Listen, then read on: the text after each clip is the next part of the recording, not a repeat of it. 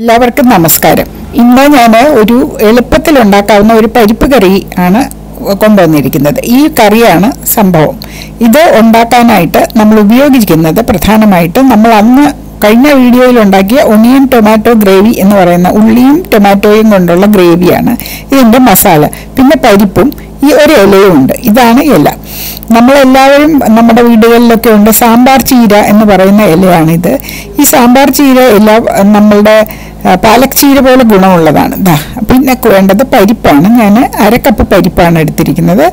പരിപ്പ് കുതിർത്തിട്ടാണ് വേകാൻ വേവിക്കാൻ പോകുന്നത്. കുതിർത്ത് വേവിക്കുന്നു. ഈ ഇല ഞാൻ ഇത്രയും ഇല ഒരു ചെറിയ പിടി ഇലയാണ് എടുത്തിരിക്കുന്നത്. ഈ ഇല ഒന്ന് വൃത്തിയാക്കി അതിലെ പൂവും തണ്ടുമൊക്കെ മാറ്റി കഴുകി എടുക്കുന്നു.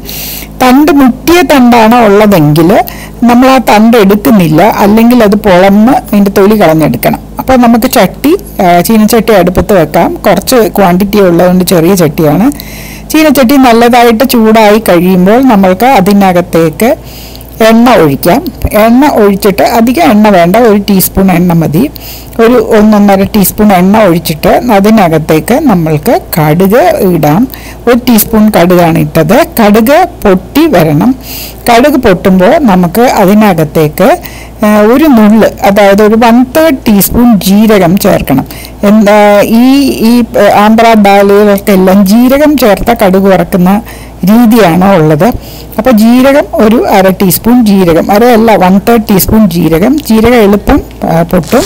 അത് പൊട്ടുമ്പോൾ കറിവേപ്പില പിന്നെ മുറിച്ച ഞാൻ ഒരു മുളക് എടുത്തുള്ളൂ. വലിയ എരിവ് വേണ്ട ഈ ഗ്രേവിക്ക് എരിവുണ്ട്. അതും കൂടെ ചേർക്കുക. ചേർത്ത് ഒന്ന് ഇളക്കുക. ഇളക്കി അത് ഒന്ന് മൂത്ത് വരുമ്പോഴത്തേക്കും നമ്മൾ നമ്മളുടെ പരി സോറി നമ്മളുടെ ആ ഇലകൾ അതിനകത്തേക്ക് ഇടുക. ആ ഇല വേകണമല്ലോ അപ്പോൾ പരിപ്പ് വെന്തതാണ് ഇല വേകണം. ഇല നമുക്ക് അതിനകത്തേക്ക് ചീനച്ചട്ടിയിലേക്ക് ഇട്ട് ഒന്ന് ഇളക്കി കൊടുക്കണം. ഇല ഇളക്കി അത് വഴന്നു വരും. അത് വഴന്നു വരുമ്പോഴത്തേക്ക് അതിനകത്ത് വെള്ളം എല്ലാം പോകുന്ന ഇതിന്റെ ഇംഗ്ലീഷ് പേര് വാട്ടർ ലീഫ് എന്നാണ്. നമ്മൾ സാമ്പാർ ചീര എന്ന് പറയുന്നത്. ഇത് സൗത്ത് അമേരിക്കയിലൊക്കെ ഉണ്ടായിരുന്ന ഒരു സാധനമാണ്. അപ്പം ഇതിനകത്ത് വെള്ളം ഇറങ്ങി വരും. ഇനി നമുക്ക് അതിനകത്തേക്ക് ഈ നമ്മൾ ഉണ്ടാക്കിയ മസാല ഞാൻ രണ്ടര ടേബിൾ സ്പൂൺ ആണ് ഇട്ടത്. രണ്ടര ടേബിൾ സ്പൂൺ മസാല ചേർത്ത് ഈ ഇല നമുക്ക് ഇളക്കി കൊടുക്കാം. ഈ ഇല ഇളക്കുമ്പോൾ നമുക്ക് വെള്ളം ഇറങ്ങി വരുന്നത് കാണാം. വെള്ളം ഇറങ്ങി വന്നിട്ട് ഇല നമ്മളിപ്പോൾ ഒരു ഇതിന് ഒരു ചീനച്ചട്ടി ഇട്ടാൽ ഒരു വൺ തേർഡ് ചീനച്ചട്ടിയുള്ള ഇലയെ അവസാനം കാണുകയുള്ളൂ. ഇതെല്ലാം കൂടെ വെള്ളം എല്ലാം എല്ലാം അതിനകത്തുനിന്ന് ഇറങ്ങി കഴിഞ്ഞാൽ ഇലയുടെ ക്വാണ്ടിറ്റി കുറയും. ഇനി ഇത് അടച്ചു വെച്ച് നമുക്കൊന്ന് വേവിക്കാം. ഒരുപാട് നേരമൊന്നും എടുക്കുകയില്ല. ഇത് വേഗം വേഗം ഒരു രണ്ട് മിനിറ്റ് വേകാനായിട്ട് വെക്കാം. എന്നിട്ട് ഇടയ്ക്കൊന്ന് തുറന്ന് അല്പം ഉപ്പിട്ട് കൊടുക്കണം. അല്പം ഉപ്പിട്ട് കൊടുക്കുമ്പോൾ ഇത് നമ്മുടെ ഗ്രേവിക്ക് ഭയങ്കര ഉപ്പാണെങ്കിൽ ഉപ്പ് കുറച്ചിട്ടാൽ മതി. ഇപ്പോൾ ഉപ്പിടണ്ട. അപ്പോൾ ഉപ്പിടുമ്പോഴത്തേക്കും ഈ ഉപ്പും കൂടെ വന്ന് ഇതിലെ വെള്ളം കുറെ കൂടെ ഇറങ്ങാൻ എളുപ്പമാണ്. പിന്നെ ഗ്രേവിക്കും ഉപ്പുണ്ട്. അപ്പോൾ നമ്മളൊന്നുകൂടെ ഇളക്കി ഒന്ന് അടച്ചു വെച്ചിട്ട് നമുക്ക് ഇതേ ഉള്ളൂ നമുക്ക് ചെയ്യാം. നമുക്ക് അതൊന്ന് നന്നായി വെന്തു എന്ന് കാണുമ്പോൾ നമുക്കിതിനകത്തോട്ട് പരിപ്പ് ചേർക്കണം. പക്ഷേ ഇത് നമ്മൾക്ക് ഈ ഇല തന്നെ ഉപയോഗിക്കണമെന്നൊന്നുമില്ല. നമുക്കിത് മുരിങ്ങയ്ക്ക ചേർക്കാം കുമ്പളങ്ങ ചേർക്കാം. അല്ലെങ്കിൽ ഈ റിഡ്ജ് ഗോഡ് എന്ന് പറയുന്ന ഇങ്ങനെ ഒരു പിച്ചിങ്ങ ഏത് തരത്തിലുള്ള വെജിറ്റബിളും ഇതുപോലെ ചേർത്ത ശേഷം പരിപ്പ് ചേർത്ത് നമുക്ക് ഈ ഈ അരപ്പ് വെച്ച് ഗ്രേവി ഒരു ഒരു പരിപ്പ് കറി ഉണ്ടാക്കാം. ഇതിനകത്ത് ഞാനിപ്പോൾ പരിപ്പ് ചേർക്കാൻ പോവുകയാണ്. ഇതൊക്കെ നന്നായിട്ട് വെന്തിട്ടുണ്ട്. പരിപ്പ് അതിലേക്ക് ചേർക്കുക. ഇത്രയേ ഉള്ളൂ ഈ കറി. നമ്മൾ അരപ്പ് നേരത്തെ ഉണ്ടാക്കി വെച്ചിരുന്നത് കൊണ്ട് നമുക്ക് അരിയാനും പിടിക്കാനും ഒന്നും ഒന്നുമില്ല. വലുതായിട്ടുള്ള ജോലികളും ഇല്ല. എളുപ്പം ഉണ്ടാക്കാം. ഇപ്പോൾ ഞങ്ങൾ നോമ്പുകാലം ആയതുകൊണ്ട് മിക്കവാറും പച്ചക്കറികളാണ് കഴിക്കുന്നത്. അപ്പോൾ പച്ചക്കറി കഴിക്കുമ്പോൾ എപ്പോഴും നമ്മളുടെ കോംപ്ലിമെന്ററി ആയിട്ട് അരിയുടെ കൂടെ കോംപ്ലിമെന്ററി ആയിട്ട് പയറ് വർഗങ്ങൾ ഉൾപ്പെടുത്തണം. പയറ് പരിപ്പ് ഇവ ഏതേലും ഉൾപ്പെടുത്തണം. അരിക്കകത്തുള്ള ചില അമിനോ ആസിഡ്സും പരിക്ക് പരിപ്പിനകത്തുള്ള പരിപ്പ് പയർ ഇതിലുള്ള അമിനോ ആസിഡ്സും ഇതിൽ വ്യത്യസ്തമായ അമിനോ ആസിഡ്സ് ആണ് ഉള്ളത്. ഒമ്പത് അമിനോ ആസിഡ്സ് നമ്മുടെ ശരീരം ഉൽപ്പാദിപ്പിക്കുന്നില്ലാത്തതുകൊണ്ട് നമുക്ക് ആവശ്യമുള്ളത്. അതിനെയാണ് എസെൻഷ്യൽ അമിനോ ആസിഡ്സ് എന്ന് പറയുന്നത്. അത് എസെൻഷ്യൽ ആകുന്ന എന്തുകൊണ്ടാണ്? കാരണം അത് ഭക്ഷണത്തിൽ നിന്നേ നമുക്ക് കിട്ടുകയുള്ളൂ. അപ്പോൾ അതിൽ ചിലതൊക്കെ അരിയിലുണ്ട് ചിലതൊക്കെ പരിപ്പിലുണ്ട്. രണ്ടിലും കോമൺ ആയിട്ടുള്ളതുണ്ട്. എന്നാൽ അരിയും പരിപ്പും അല്ലെ അരിയും പയറും അല്ലെങ്കിൽ ചോ- ഗോതമ്പും പയറും ഗ്രെയിൻസ് ആൻഡ് പൾസസ് മിക്സ് ചെയ്യുമ്പോൾ നമുക്ക് ആ full spectrum of amino acids കിട്ടുകയും നമ്മുടെ ആവശ്യമുള്ള പോഷണം യാതൊരു മത്സ്യമോ മാംസമോ മുട്ടയോ പാലോ ഇല്ലാതെ തന്നെ നമുക്ക് കിട്ടും. അതുകൊണ്ടാണ് ഈ നോർത്തിലൊക്കെ ഇപ്പോൾ ചപ്പാത്തിക്ക് ദാൽ ചപ്പാത്തി ദാൽ എന്ന് പറയുന്ന അവരുടെ ഒരു പ്രധാന ഇതാണ്. അല്ലെങ്കിൽ ചോറാണെങ്കിലും അവർ അതിന്റെ കൂടെ ദാൽ അവരെപ്പോഴും ഉൾപ്പെടുത്തും. നമ്മളാണ് ചോറിന്റെ കൂടെ ഉരുളക്കിഴങ്ങ് കറിയും ചപ്പാത്തിയുടെ കൂടെ ഉരുളക്കിഴങ്ങ് കറി സ്റ്റാർച്ചും സ്റ്റാർച്ചുമായിട്ട് കമ്പൈൻ ചെയ്ത് കഴിക്കുന്നത്. അവരെപ്പോഴും അതിന്റെ കൂടെ എന്തെങ്കിലും പരിപ്പ് വർഗങ്ങൾ കഴിക്കും. ചിലപ്പോൾ അവർ പലതരം പരിപ്പുകൾ ഒന്നിച്ച് ചേർത്തുള്ള കറികൾ പഞ്ചാബി ഒക്കെ പഞ്ചാബീസൊക്കെ ഇങ്ങനെ പലതരം പയറുകളും പരിപ്പുകളും ഉഴുന്നും ഒക്കെ ഇട്ട് കറികളുണ്ടാക്കും അപ്പം നമുക്ക് ചോറിന് സത്യ ഇതും ചോറും പരിപ്പും ഉണ്ടായാൽ നമുക്ക് വേണ്ടുന്നതെല്ലാം ആകും. ഞങ്ങൾക്ക് ഇന്ന് കൂട്ടാനായിട്ട് വാഴയ്ക്ക മെഴുക്ക് പുരട്ടിയും ബീൻസ് തോരനും പരിപ്പ് കറിയുമാണ് ഉള്ളത്. അപ്പോൾ പരിപ്പ് കറി പിന്നെ അച്ചാറുണ്ട്. ബീട്രൂട്ട് അച്ചാറുമാണ് ഉള്ളത്. അപ്പോൾ പരിപ്പ് കറി ഇതാ തിളയ്ക്കുന്നുണ്ട്. ഇതൊന്നും നല്ലപോലെ തിളച്ച് വരുമ്പോൾ നമുക്ക് ഉപ്പ് നോക്കണം. വേണമെങ്കിൽ ഉപ്പ് ചേർക്കണം. ഞാൻ മറ്റേ പൊടിയിൽ മഞ്ഞൾ ഇട്ടില്ലായിരുന്നു. ആ വഴട്ടിയ അരപ്പിൽ മഞ്ഞൾ ഇട്ടില്ല. ഇപ്പോഴാണ് മഞ്ഞൾ അവസാനമാണ് ഞാൻ ആഡ് ചെയ്യുന്നത്.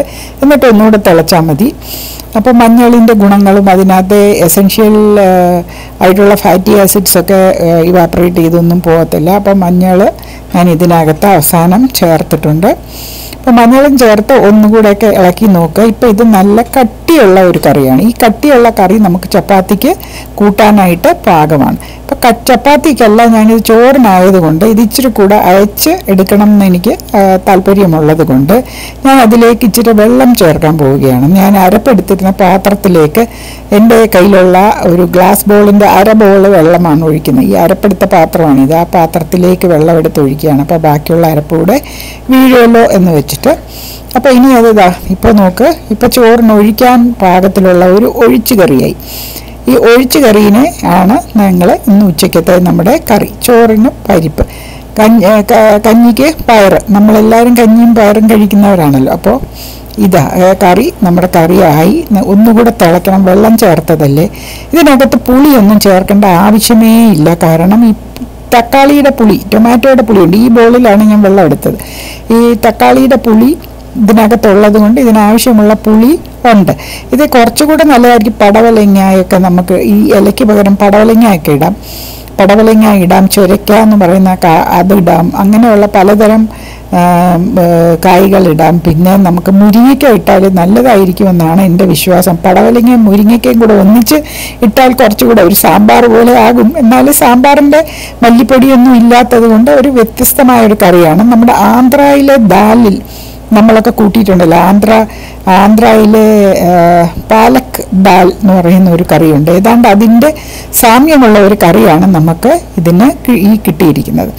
അപ്പോൾ നമുക്ക് ഈ കറി ഇനി ഓഫ് ചെയ്യാം. നല്ലതുപോലെ തിളച്ചു. ഇനി ഇത് ഓഫ് ചെയ്യാം. ഞാൻ രുചിയൊക്കെ നോക്കി ഉപ്പൊക്കെ പാകമായിട്ടുണ്ട്. നിങ്ങൾ നിങ്ങളുടെ അവശ്യാനുസരണം ആവശ്യാനുസരണം ഉപ്പ് എരിവൊക്കെ ക്രമീകരിക്കണം. വേണമെങ്കിൽ രണ്ട് പച്ചമുളക് ഇടാം. എനിക്ക് പച്ചമുളകിന്റെ എരി ഭയങ്കര ഇഷ്ടമാണ്. പച്ചമുളകിന്റെ ഓരോന്നിന്റെ എരിവും വ്യത്യസ്തമാണ്. ചുവന്ന മുളകിന്റെ എരിവ് പച്ചമുളകിന്റെ എരിവ്. ഇപ്പോൾ ദാ ഞാനൊരു പാത്രത്തിലേക്ക് കറി മാറ്റിയാണ് എന്റെ മകനാണെങ്കിൽ പരിപ്പുകളൊക്കെ ഭയങ്കര ഇഷ്ടമാണ്. അതുകൊണ്ട് ഞങ്ങളുടെ വീട്ടിൽ മിക്കവാറും സാമ്പാർ ഒരു പരിപ്പാണല്ലോ. സാമ്പാറും പരിപ്പുകളും ഒക്കെയാണ് പ്രധാന കറികൾ. മോര് കറികൾ കുറവാണ്. എന്നാലും മോര് കറി ഉണ്ടാക്കാനായിട്ട് എനിക്കൊരു പ്ലാനുണ്ട്. കാരണം നമ്മുടെ മോര് കാഴ്ചതൊക്കെ കൂട്ടിയിട്ട് ഒത്തിരി നാളായി. ഇതാ ഇതിനൊരു പാത്രം കറി എനിക്ക് ഈ അരക്കപ്പ് പരിപ്പിലും പരിപ്പും കുറച്ച് ഇലകളും കൂടെ ചേർത്ത് നമ്മളുടെ അരപ്പിന്റെ രണ്ടര ടീസ്പൂ ടേബിൾ സ്പൂൺ അരപ്പുമാണ് ഇതിലാകെ ഉള്ളത്.